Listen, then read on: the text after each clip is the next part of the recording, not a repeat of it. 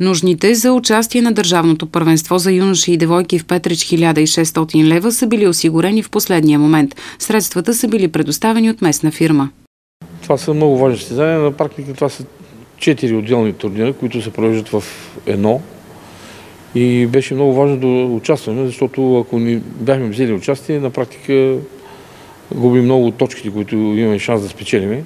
В момента сме в началото на годината и нямаме никакво финансиране, още нито от Министерството на спорта, нито от общината и затова разчитаме основно на спонсори.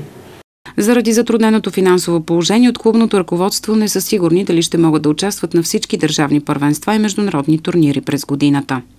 Надявам се някой да ни помогне до тогава, да можем да вземем участие, защото след стражите веднага заминаваме на, на първи кръг за мъже. Там ще участваме с трима състезатели пак в и турнира.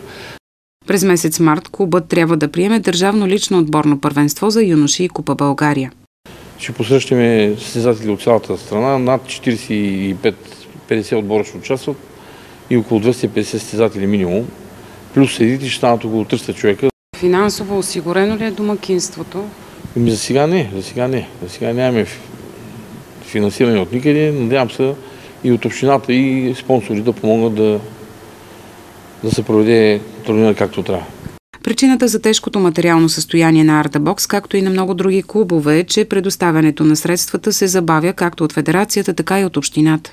Няма още бюджет, няма а, правителство. Миналата година средствата дойдоха на 2 седми месец, юли. До 2 седми участваме на състезания и така на мускули. Това е положението. Благодарение на спонсори и даже имаше едно състезание, с което пътувахме с суха храна.